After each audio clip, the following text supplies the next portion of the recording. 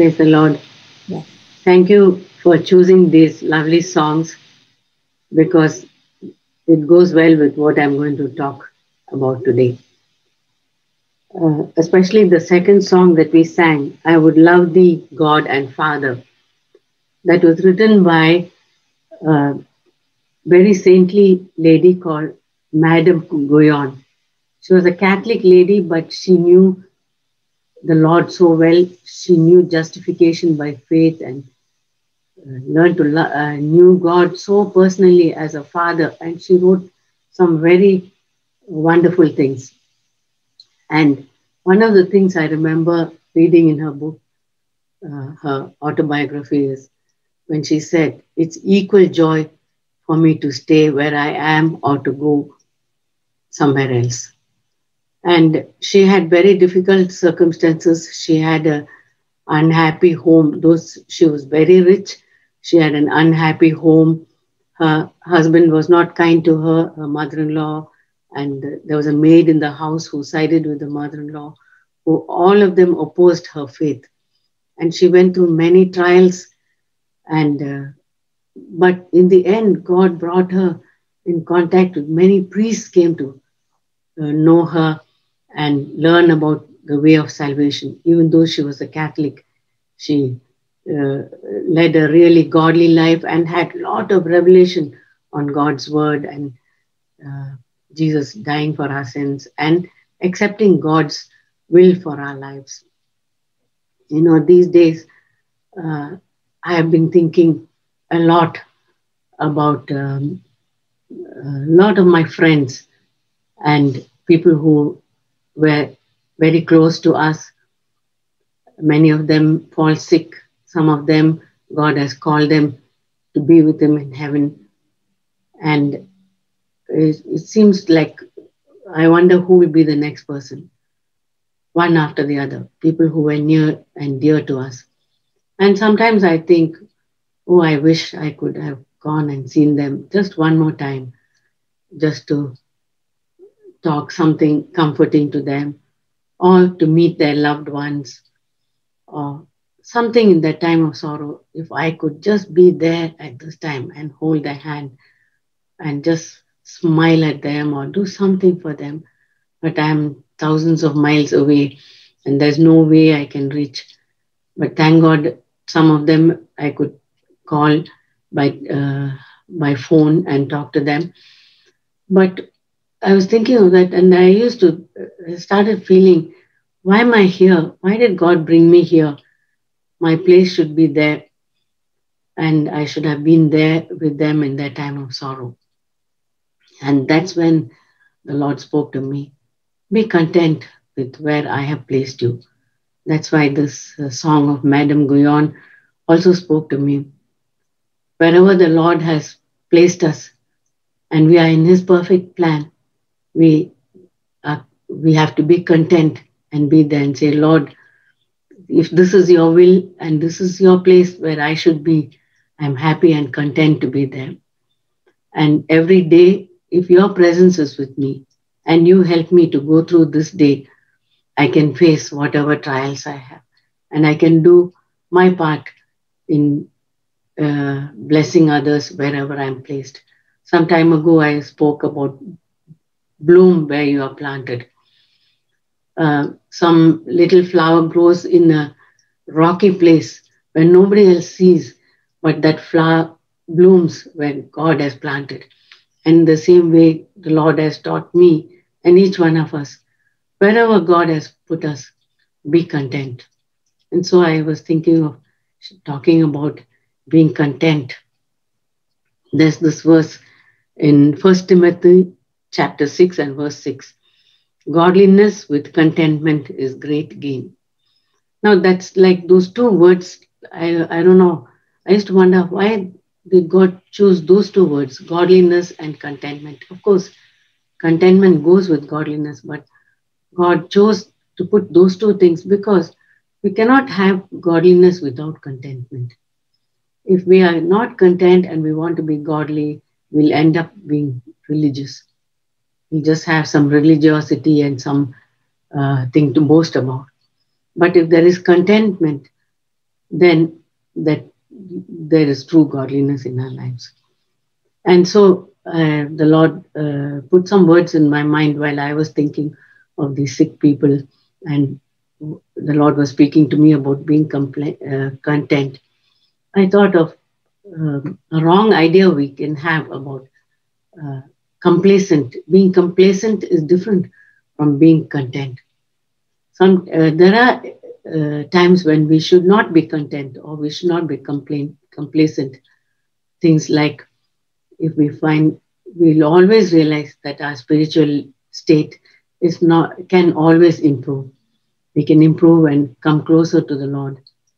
So there we should have that thirst, as the psalmist says, as the deer pants for the water brooks, my soul pants after thee, my Lord. We should have that hunger and thirst for the Lord. Another area we can be complacent about is our prayer life. The Lord says, pray without ceasing. And we always realize we are not praying enough. And the Lord says, you can pray a little more. A little time that you get when you're just distracted and thinking of something else, turn it into a prayer. When you're worried about some loved one or somebody whom you miss, you can turn that into a prayer. Some anxiety about something, earthly thing, about our children, turn that into a prayer. So there we can uh, learn not to be complacent in our spiritual life.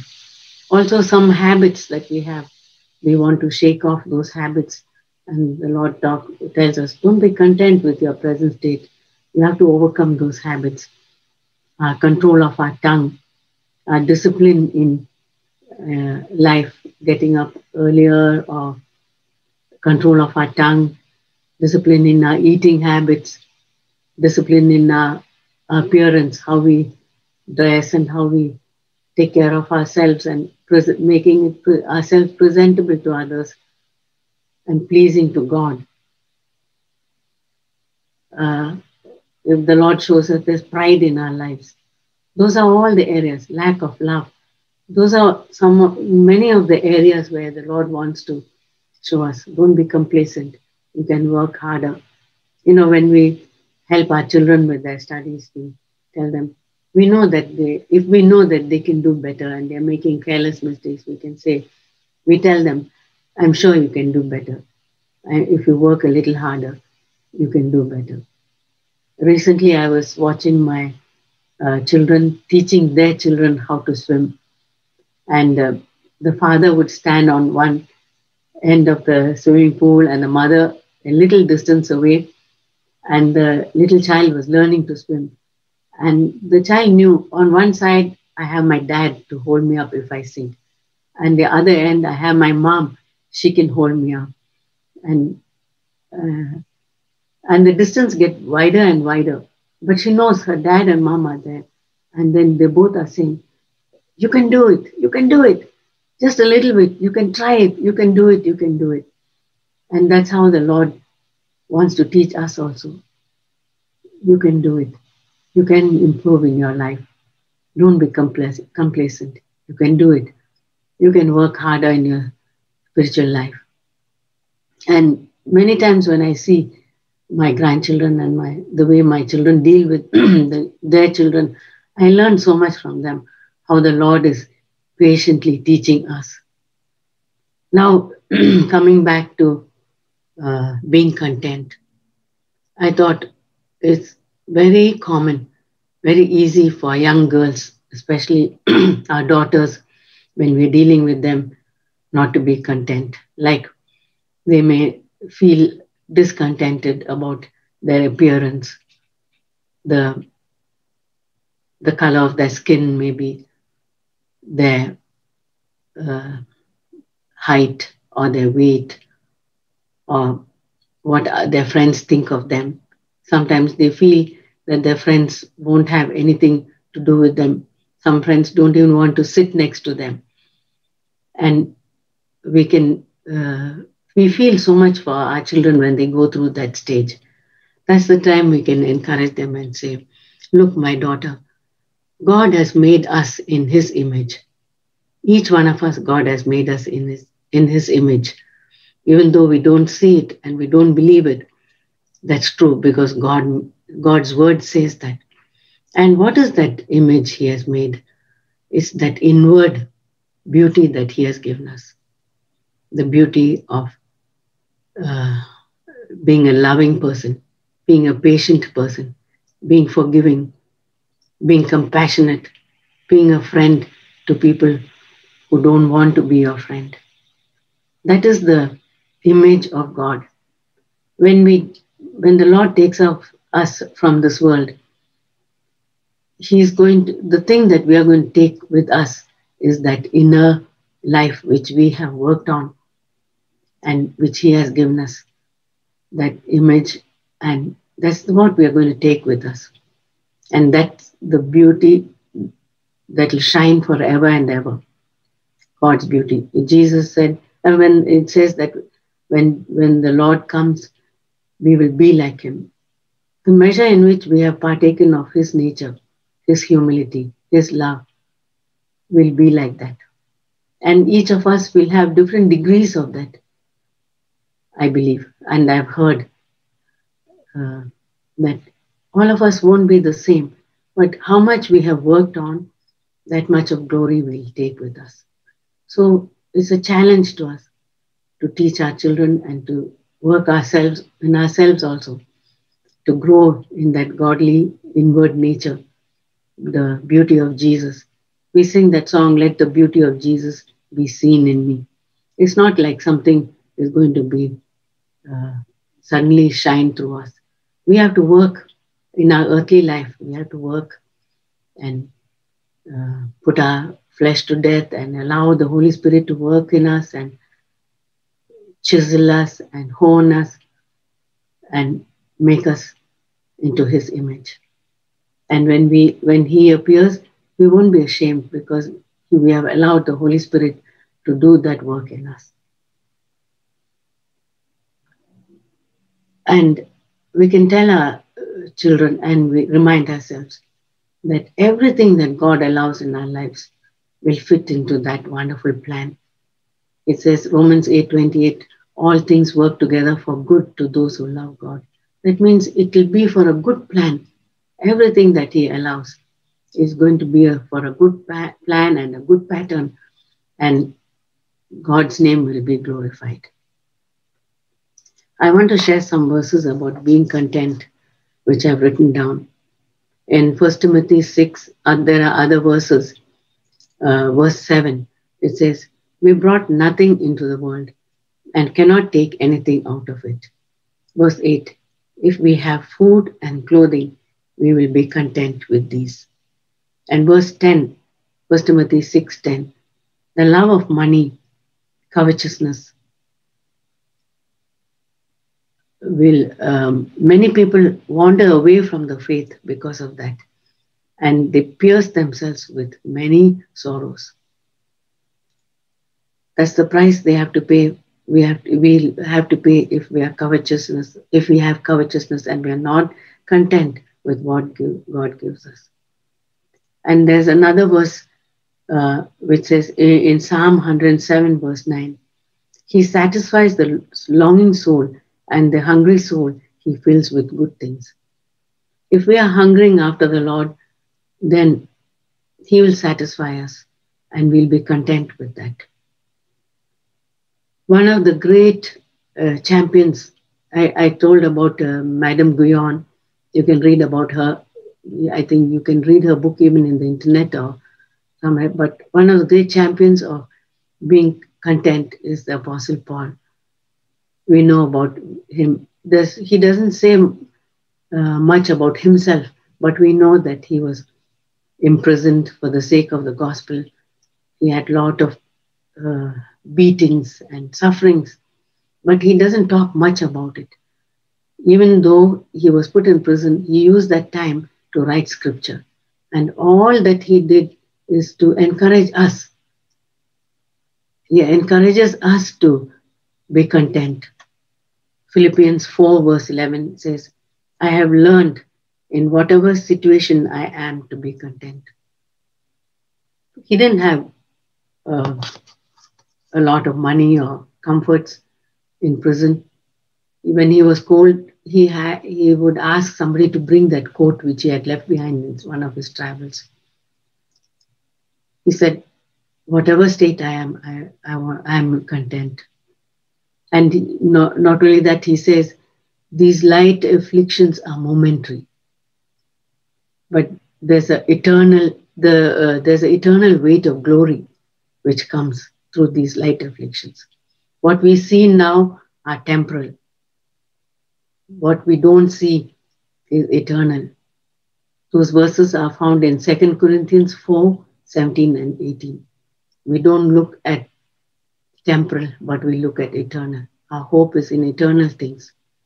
How could Paul say those things if he didn't have and know the secret of being content in whatever state he God had put him in. It's good for us to meditate on these, uh, the life of such godly uh, saints. Then, above all, we think of our Lord Jesus Christ, the King of glory, the creator of the universe. When God sent him to the earth, he was content with whatever the Father allowed. He was content with the home God put him in. He was content with every earthly situation. He, there were opportun- chances for him to at least get a ride on a donkey, but he would walk mile after mile to meet and bless needy people, to heal people. He must have been so tired that in the middle of a storm, he could sleep with just a cushion under his head he could sleep when the storm was raging. We, we find it difficult to sleep in a new place. Even if our pillow is changed, we find it difficult to speak, to sleep. And there, Jesus, we don't, but little things like that show us how content he was to come as a man and live like you and me and be content to live this earthly life. Sometimes and also the food that he ate was just the ordinary food. Sometimes people, his, he and his disciples walked through the field and they'd be hungry, they'd just pluck some corn and chew that, munch that. It's not that they couldn't afford to buy some bread, but he lived such a simple life and he taught the disciples also to live like that. Now, when I think of Jesus and his life, I imagine like this. I think Suppose I'm caught for some crime that I did, some maybe some mistake or some accident. You know, uh, we who work in the medical field, we can give a wrong injection by mistake or some wrong treatment, and that person dies or is very critical. Suppose I have made a mistake like that, and I'm in grievous danger of getting punished. And then somebody comes and maybe my dad but in this case, it's the Lord Jesus. He comes and says, I'll take the punishment for you. And he gets beaten for my crime, for my mistake. He gets beaten so badly, so much that people didn't want to look at his face. You know, sometimes I've seen in road accidents when people get their face bashed up. Nobody likes to look at that face. It's so hideous. Can you imagine Jesus for uh, your sin and my sin getting beaten up so badly that people turn their faces away? Indeed, so ghastly to see him. And not only that, he endured that beating and the thorns put on his head and beaten and blood dripping down from his forehead. And finally, he dies. And just before he dies, I see him looking at me and I can see that look of love when he looks at me and says, My child, I'm doing it for you. I love you so much. I'll do it again and again for you if I get a chance. I do it for you so that you can be free, so that you can be justified, so that your punish you don't have to bear any punishment for your mistakes and your crime. I have taken that punishment. And not only that, I'm going to come and take you to be with me for an ever, for an ever, forever and ever.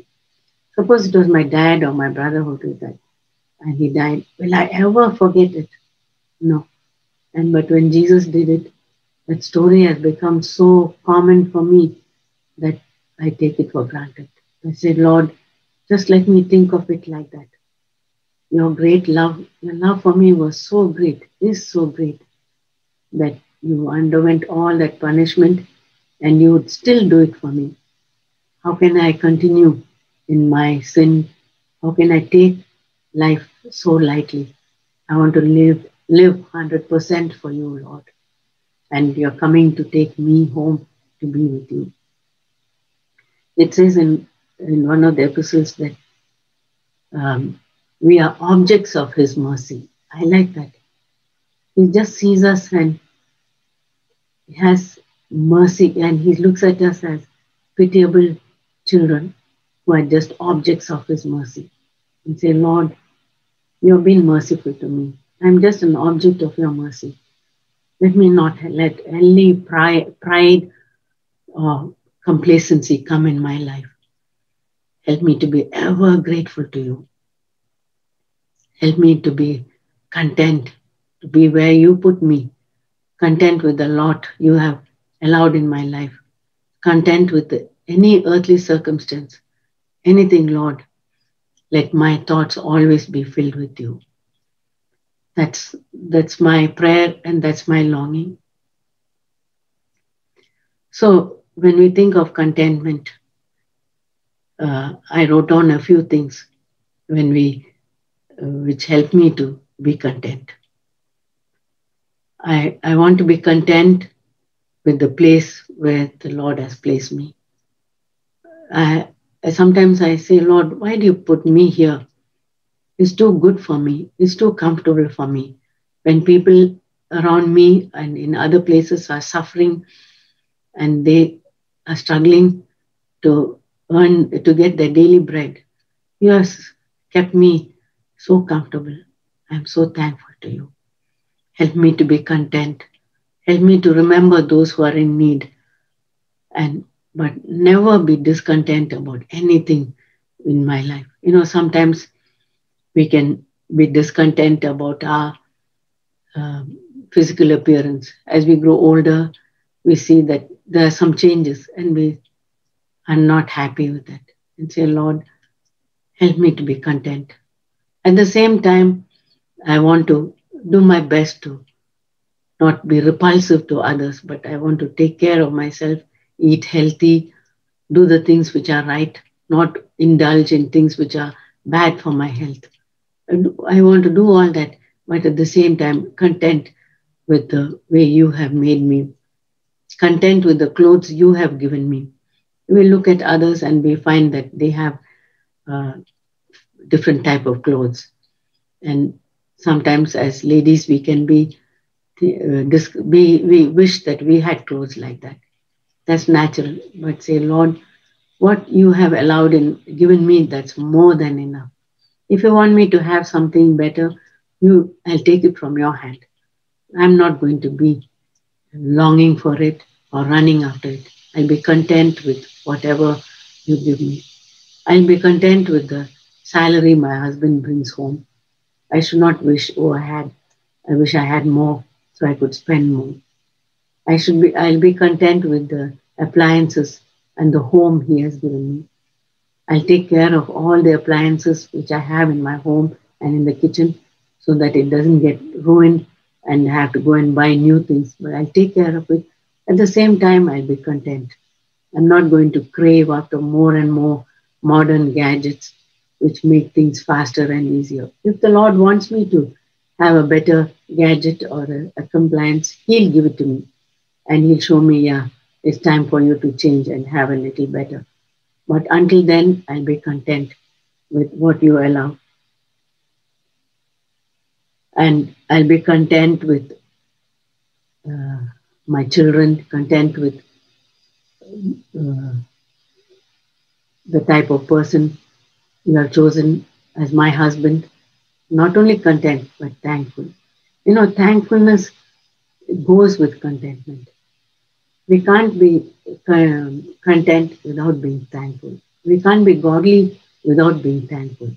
To read um, in Romans 1 and 2, when man started going down and down, degrading, it all started with the lack of thankfulness in our hearts. So, thankfulness is like the beginning, and throughout our life, we should not, we should be that have that thankful spirit, thankfulness to the Lord, thankfulness to our children and our husbands and our siblings, our church sisters and brothers, thankful for anyone. Jesus said, even if a cup of cold water you give to one of his children, you won't lose that reward. That that's how much he's going to be thankful to us what we what for what we have done for his children. So thankfulness. And then another way we can be content is we should have our mind and our treasure on godly things. In Matthew 6 and Luke 12, 31 to 34, it says, Seek God's kingdom first. We know those verses. Seek God's kingdom and his righteousness, and all these things will be added. All that you need will be added to you. If we lack something and we say, Yeah, I, I lack in this area, and, and why am I lacking in this? I can say, Lord, in which area have I stopped seeking your kingdom and your righteousness? Show me that first of all. And then I know that you'll take care of my earthly needs. So that's the uh, uh, question we can ask ourselves. That's the test. If I'm lacking, I say, Lord, am I have I stopped seeking your kingdom? Have I stopped seeking your righteousness? Have the things of this world suddenly crept into my heart little by little, like a rust, and uh, I'm not able to have that godly nature which you want me to have. Lord, if, if I'm seeking earthly things and not your kingdom, please show it to me. And every day the Lord will show us. And uh, in uh, First John, it says uh, First John five twenty. Uh, there's a verse: "Little children, keep yourselves from idols." Now, an idol is something that occupies our mind all the time. Whatever comes to your mind, and you keep on thinking of it, or a person, you keep on thinking of that person, then that becomes an idol. And how easy it is for us to be distracted and keep thinking of some earthly thing or some person or some uh, wish and longing that we have which is unfulfilled, that can also become an idol. And the Lord searches us and says, Little children, my child, keep yourself from idol, idols. Then um, the Lord says, Where your treasure is, there will your heart be also. So if we are if we are um, longing for earthly things and being big in the world and uh, being a great person, then our heart is there and our treasure is there. And then there'll be a, a lack of contentment in our life coming into our lives. Then yesterday I heard a beautiful verse. You know, we had a funeral yesterday of a very beloved uh, brother in our church, and uh, we still um, grappling with the thought of the Lord taking him so young. His two uh, biological brothers testified this. They said, Remember the place where you have come from. And, and that I was thinking of the same thing. Look at the quarry from which you have been hewn after, out of. You know, in the past few months, we were thinking of being a pillar uh, in God's temple and the different pillars and the quarry from which God uh, cuts out those pillars.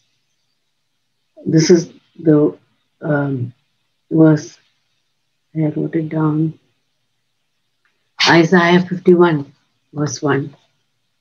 Listen to me, you who pursue righteousness, You, we all are pursuing righteousness. You who seek the Lord, we all are seeking the Lord.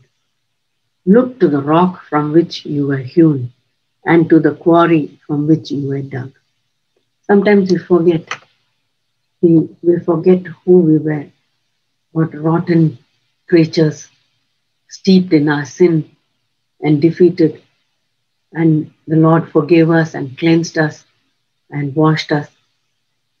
And we tend to forget and we think, ah, I've reached somewhere. I have reached some spiritual height. I brought up my children a little better. I'm not getting angry as I used to. I have this, this, this, and we make a check, checklist. And we forget to look at the quarry from which the Lord has picked us up and pulled us out of. Every now and then it's for us to, good for us to look at the quarry, our poor wretched state from which the Lord picked us up. There's, there may have been so many sins in our life which the Lord has covered, which we are ashamed of, if the Lord were to show it to the whole world. Thank God He has covered it, covered all those sins. But we forget it and we think, ah, I'm a righteous person now. But every now and then, turn back, go back to that quarry and that rocky place from which God has cut us and lifted us up and made us stand where we are. Praise God. He reminds us of the verses like this. Um, many verses I read in Jeremiah and Isaiah where the Lord says, You know who you were before I picked you up. You were stinking and full of sores in your uh, disgusting state. And now I'm, I cleansed you and made you what you are. And you become so proud and haughty, and you forget me, and you have forsaken me and turned to other gods.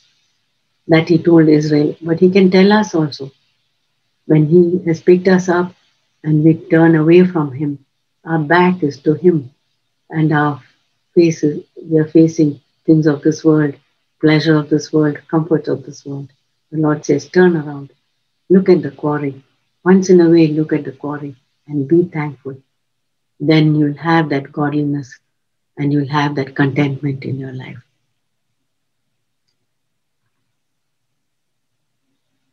Um, yeah, praise and thank God for all these wonderful uh, things He has given us in these days that He reminds us to be content with what we have and press on to a more godly life and a wonderful life that He has ahead of us.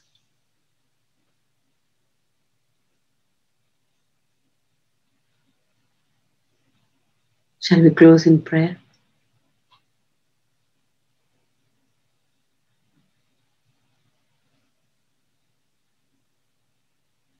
Our Heavenly Father, we praise and thank you for your precious word.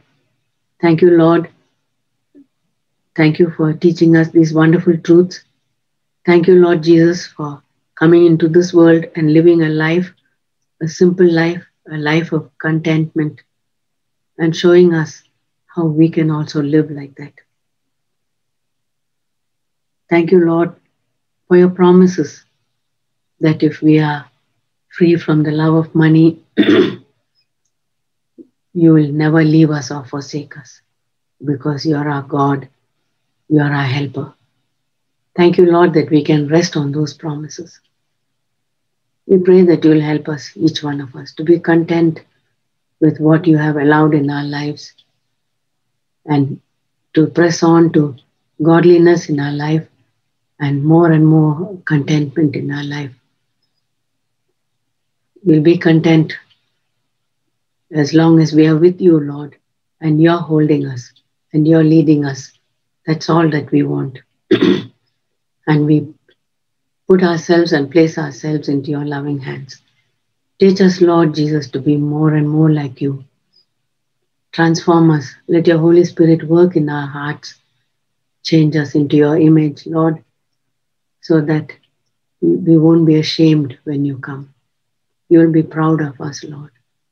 Please help us, each one of us, We are needy people. And so we humbly come to you. Teach us to be content, Lord, all the days of our lives. We ask these things in Jesus' precious name. Amen.